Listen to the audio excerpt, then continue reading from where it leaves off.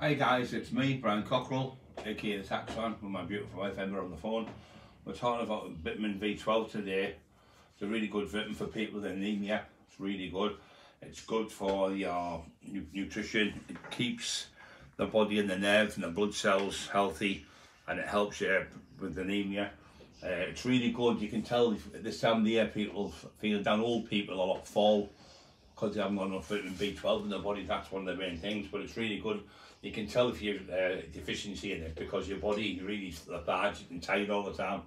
So vitamin B12, yeah, that's the vitamin of today. So I'll get it in you because it's really good for you. So I'll see you again soon.